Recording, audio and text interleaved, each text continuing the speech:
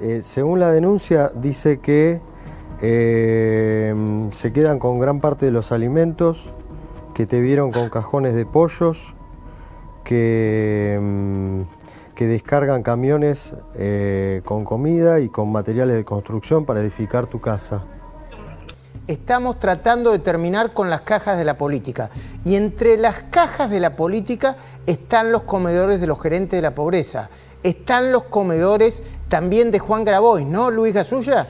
Así es, Luis, porque la semana pasada, siguiendo el hilo de información, Agustina, eh, Agustina, Girón y Silvina Martínez te presentaron el informe sobre los comedores y algunas de las mentiras que habían encontrado de Juan Grabois. Silvina hablaba de la Federación de Cooperativas de Reciclado Limitada, que estaba ubicada en Pedro Echagüe y que había recibido más de 1.200 millones de pesos, 5 millones 300 50 mil dólares. La Asociación Civil El Amanecer de los Cartoneros, que había recibido en el gobierno de Alberto Fernández 7 millones 300 mil dólares. Un detalle más, también recibieron más de 300 mil kilos de alimentos. ¿Por qué? Porque la plata iba a la asociación, iba a la cooperativa, no iba al comedor específicamente. Por eso había que crear más y más comedores. Y a lo largo de la campaña, eh, cooperativistas, dirigentes sociales como Juan Grabois crearon muchos comedores. es el caso de esta asociación. Un segundito? La teoría del ministro Caputo es que no sobre no solo con Grabois, ¿no? pero que los Grabois de la vida, cuando empezaron a hacer política, como Pérsico en La Matanza, o como Grabois, como precandidato y candidato a presidente, empezaron a necesitar estructuras a las que le tenían que pagar. Y en esas estructuras se enmarcan los comedores fantasmas le habían dado algunos comedores que dependían de ellos, que eran reales, pero como necesitaban platita, empezaron a generar comedores que nadie atendía y se quedaron con la platita. Esa es la teoría que tiene el ministro de Economía, Luis Caputo. Dale, Luis. Bueno, es elocuente lo que va a saber y que va a ir de la mano de esa teoría, porque creó en cuatro años 170 comedores comedores, 170 la Asociación Civil de El Amanecer de los Cartoneros. Más bien, se los dio el gobierno. A ver, eh, la Asociación de los Cartoneros tenía un comedor, dos comedores, hasta que llegó a 170. ¿Cómo llegó a 170? Se los dio el gobierno. Esto es plata de la política, es platita electoral. Es la misma plata que un día Cristina Fernández de Kirchner, cuando le preguntaron por qué haces esto de ser el carancho de los eh, que están hipotecados, ella dijo, porque nosotros queremos hacer política y para hacer plata eh, se necesita, y para hacer política se necesita la platita. Pero de esos 170, casi el 10%, según Capital Humano, según un registro que tiene Capital Humano, eran fantasmas, eran irrayables. ¿Y qué hicimos? Fuimos a La Matanza, uno de los lugares claves de la política que es fundamental y que ahí también aparecía la Asociación Civil del Amanecer de los Cartoneros. Mirá, es elocuente, Luis. de los cartoneros y luchar contra el trabajo infantil. ¿Sabés dónde fue creada? En Lomas de Zamora. Hace poco hubo una revuelta de cartoneros que invitaban en, en, Puente La Noria a Grabois que se haga presente, porque ahí surgió el poder de Grabois, con esta asociación del 2005, con esta acta constitutiva. A ver, Luis, vos querés decir que la asociación El Amanecer de los Cartoneros, la suma Silvina, que sabe mucho de esto, es prácticamente, es, es más bien, o sería más bien un sello al que usaron para todo. Dijeron, bueno, esta asociación de cartoneros es para reciclar eh, eh, eh, materiales y cartón. Perfecto. Y pues, che, no, papá, sirve para todo. Anotémosla, pidamos subsidio, sumemos comedores acá es una, es una caja espectacular. Eh, eh, eh, ¿Pienso mal, Silvina Martínez? No, exactamente. Lo que vos estás diciendo es clave. ¿Cómo funcionaba esto? Tenían la asociación, ya tenían el sello armado para otras cosas. Dijeron, te vamos a dar plata si vos pones que esta asociación se va a dedicar a nuclear un montón de comedores. Entonces, inscriben comedores con direcciones falsas para justificar convenios donde le dan estos 7 millones de dólares y donde los dan los kilos de comida. Aunque en este caso, según Luis Gasulla, suya, lo que le acaba de llegar, en el acta constitutiva no tenían ni autorización, ni permiso, ni capacidad, ni estaban habilitados para hacer eso, ¿no? No, exacto. Lo que pasa es que el acta es anterior a este negocio que se arma en el gobierno de Alberto Fernández. Eh, te sigo escuchando, Luis, te sigo viendo. Bueno, ¿y qué pasó con esta discusión en los pasillos de Comodoro Pi de Grabois? Sigue funcionando la línea 134 del Ministerio de Seguridad. ¿Y qué surgió? Que hubo en medio de esa pelea de Grabois con la funcionaria de Capital Humano, Leila Gianni, muchísimos llamados a esta línea 134 y ahora el eje no es la extorsión de los planes sociales. La gente llama y dice, en mi barrio también hay un comedor trucho, hay un comedor fantasma. Tuvimos acceso a varias de esas denuncias y fuimos a los lugares denunciados. La verdad es imperdible. Escuchalo y lo miramos, Luis. Dale. Ministerio de Seguridad, buen día. Es para hacer la denuncia de unas irregularidades que hay en un comedor. ¿Qué dirección está el comedor este? Eh, Pringles, sí. 3946, Bien. entre Alcina y Porredón, Billingur, Partido San Martín. ¿Quién es el referente en este lugar? Patricia Costilla. Que yo vi como un remisero paró ahí, yo voy a comer a ese comedor y no no dan comida como lo que ellos reciben. Paró ahí y le dio un cajón de pollo, por ejemplo. Eh, y, los, y a los familiares y a la gente conocida le da todas las cosas que... Y a la gente que come ahí le dan nada, polenta hervida, con fideos en agua, dos o tres granitos de carne picada. Porque ellos reparten la, no sé si me interpreta, la comida a la gente que ellos conocen, se la quedan ellos ¿Usted sabe a qué organización pertenecen ellos? La verdad que no sé, yo sé que trabajan en la municipalidad de San Martín. Trabajan en la municipalidad de San Martín. Sí, y siempre, cuando ellos estaban haciendo la casa, pues hace muchos años, eh, a las 2 o 3 de la mañana venían los camiones con, con cal, con cemento y todo y descargaban en la casa de ella. Se la terminaron re rápido la casa. Y era para hacer el comedor, el Rincón Feliz se llama el comedor.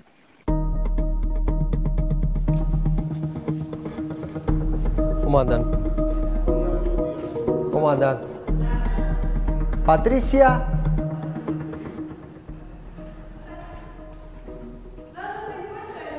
No se encuentra. ¿Sabes dónde la puedo encontrar? Sí, sí, sí, sí. ¿Querés que lo pongamos acá? Hola, Patricia. Hola.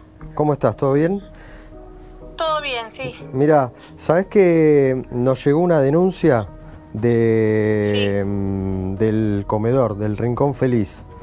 Eh, según la denuncia, dice que eh, se quedan con gran parte de los alimentos, que te vieron con cajones de pollos, que, mm, que descargan camiones eh, con comida y con materiales de construcción para edificar tu casa yo no tengo nada que decir. De últimamente, si me tienen que denunciar eh, y me iré a presentar a la justicia, pero acá nosotros damos de comer más de 700 personas diarias. ¿700 personas diarias?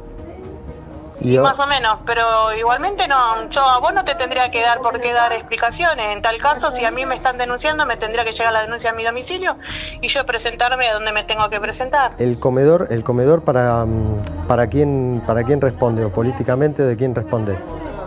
No, nosotros no trabajamos políticamente. ¿Cómo? El, comedor es propio. ¿El propio? ¿Subsidios? No, no tengo subsidios. Sí pertenecemos a la red de comedor y merenderos del municipio, pero el, hogar no es municipal. Y después recibimos donaciones tanto de vecinos, comerciantes, hacemos rifa. ¿Por qué crees que te denunciaron? Y no sé siempre hay gente para todo, nunca puedes dejar conforme a nadie, pero con el que puedas hablar eh, vas a ver, eh, o querés venir, te invitamos un día acá a ver cómo de lunes a viernes cómo vienen a retirar cantidad de familia la comida. ¿Las retiran o comen acá? Porque vos me decís 700 personas y, algunas, Comen, algunas comen ahí, otras se van. Buen día. ¿Cómo podría ser para denunciar un comedor fantasma que tengo acá en el barrio? Tengo la dirección y el nombre creo que es María, la dirección, tengo la dirección, todo. ¿Sabe para qué cooperativa u organización ella...? En la, puerta tiene un cartel, yo hace ocho años que vivo acá. La puerta tiene un cartel amarillo y negro con la cara de, de Castel y un dibujo de la Tupac Amaru. Bien, y ahora sí coménteme puntualmente los hechos, los, las irregularidades. Bueno, a mí me, llamó eh, mucho la atención porque tiene la gente y pasa, y me han visto en la puerta de mi casa y me preguntan dónde queda un comedor. Otra noche me partió lana, por eso eh, mi denuncia, porque yo pensé que les daban de comer a la gente. Apareció una viejita muy grande, muy grande, eran como las 8 de la noche, y con un tupper, dice, señor, no sabe el comedor. Le digo, mire, acá al lado está el comedor, acá a dos casas. Dice, no, me anotaron, salió un hombre, un hombre de unos 40 años, enojado, me dijo que me iba a anotar, pero que venga hoy, cuando vengo hoy no, no me dan de comer, no me dan nada, me dicen que no hay nada. No colaboran con nadie, del barrio no colaboran con nadie. Acá la gente, ya tenemos gente muy necesitada del barrio que necesitan y no le dan ni un, ni un plato de fideo, ni una bolsita de nada. Bien, y usted... que vienen camiones y descargan mercancía. La reparten entre ellas. quiere pasar la dirección del lugar donde queda? Sí, sí, cómo que no. La dirección es concejal Luis Alberto Cetino, 1574. Hola. Luis Alberto Cetino 1574, Partido de la Matanza. Supuestamente acá funciona un comedor. Es lo que denunciaron los vecinos al Ministerio de Seguridad que se bajan camiones de, eh, de Raúl Castells. Un viejo cartel.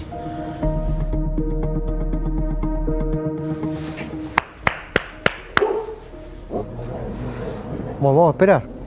Vamos a esperar un rato.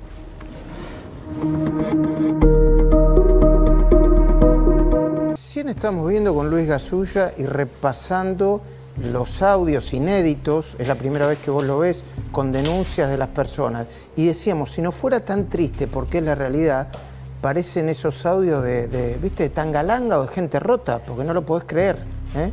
Sin embargo, son reales y muy tristes, ¿no, Luis? Y, y además son, son los vecinos que de forma anónima sí se animan a denunciar, porque ahí todos observaban la cámara, cuando les hablabas se escondían, no querían hablar, no querían tener problemas porque denunciar trae consecuencias. Y antes denunciaban aprietes, que lo sabía, para ir a las marchas, eh, eh, eh, castigos, y ahora se denuncian, y muchos, comedores fantasma. Ya aprendieron los vecinos cuando hay algo irregular o cuando hay un delito. Hablando de comedores, y antes del informe que nos va a presentar, que tiene que ver con propiedades para los amigos de Grabois. ¿Qué tenés para decir, Silvina, sobre esto? Bueno, recordá que Juan Grabois no solo presentó una denuncia penal por el tema de los comedores, sino también un amparo.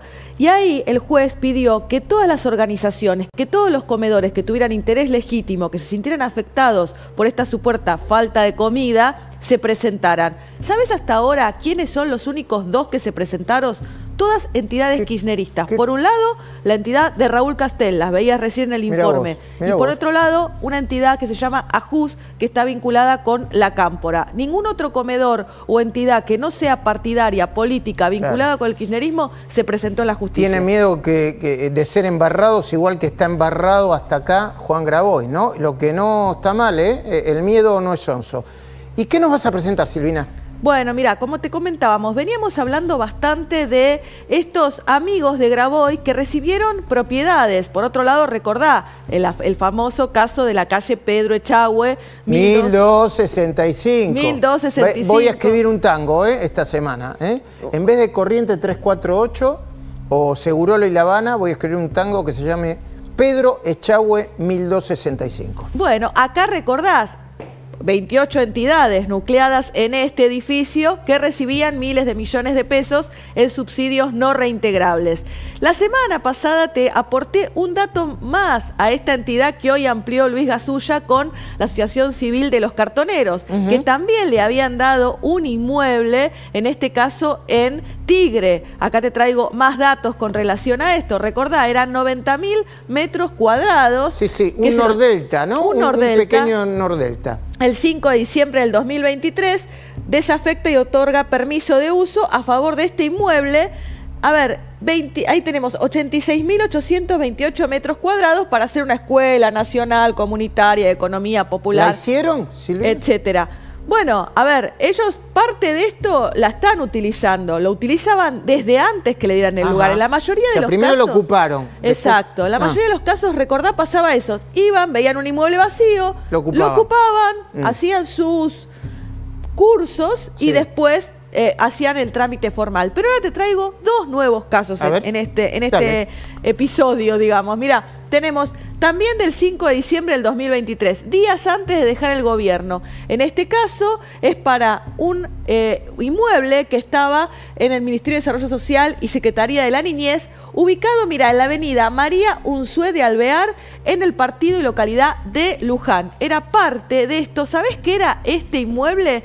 Una casona, la famosa El Caserón, que perteneció a María Unzué de Alvear y su esposo Ángel Torcuato de Alvear. Ah, mira vos. Una casona Si van a ocupar algo, no, no, no, no tienen que, tiene que ser con mucho apellido y con mucha alcurnia. ¿eh? Estamos hablando Tigre, estamos hablando ahora este caserón en Luján. de nada. Y ojalá que tengamos tiempo después para mostrar un video sobre este, el Bolsón, como una policía, una mujer policía, les para el carro a unos supuestos este, mapuches y, lo saca del lugar donde ocuparon. Pero dale. Bueno, esta entidad que se llama Cooperativa de Trabajos Vientos de Libertad Limitada, eh, tenía también, acá iba a poner una casa comunitaria convivencial para mujeres, niños y disidentes de Luján. ¿Te quedan dudas si estaba vinculada a Grabois? Mira, pertenece al MT. Vientos de Libertad al movimiento que está vinculado con Juan Grabois y que representa a Juan Grabois en la justicia. Tengo un caso más de otro inmueble que le da al Estado, gestión Alberto Fernández, a una entidad vinculada con Juan Grabois. En este caso se trata de la cooperativa de trabajo Encuentro Productivo Limitada. Acá también obtiene el permiso para obtener, eh, el permiso siempre estamos hablando de uso gratuito, ¿no? Nunca estas cooperativas... Pero Alberto Fernández es el mismo al que Grabois le dijo eh, ¿qué parte no entendés? Vamos a mandar a... Eh, va, a correr sangre de gaucho, que tenés que dar el... Claro, ya había conseguido todo, ¿no? Entonces lo empezó a apretar después de que consiguió todo lo que le dio Alberto Fernández. Ah, Bien, Juancito. Plata, subsidios, inmuebles, no le faltó nada por obtener. Bien, Juancito, ya te estamos leyendo bien, dale.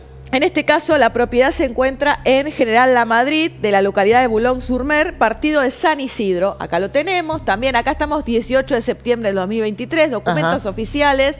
Estamos hablando de parte de este inmueble que son 53.677 metros cuadrados. Son ocho edificios que se habían recuperado y esta entidad también la ocupó mucho tiempo antes, ocupa parte de este espacio eh, para poner talleres, huerta orgánica, bueno, lugares socioculturales. Acá tenés la entrada, imagínate un predio inmenso, ocho edificios, parte de este inmueble que es del Estado lo ocupa y lo tiene esta entidad, que también surge de la propia resolución que está vinculada con la Unión de Trabajadores de la Economía Popular, la UTEP. Eso era el sello que le daban para poder obtener estos inmuebles, cualquier, cualquier otra entidad cooperativa que lo solicitaba no lo obtenía.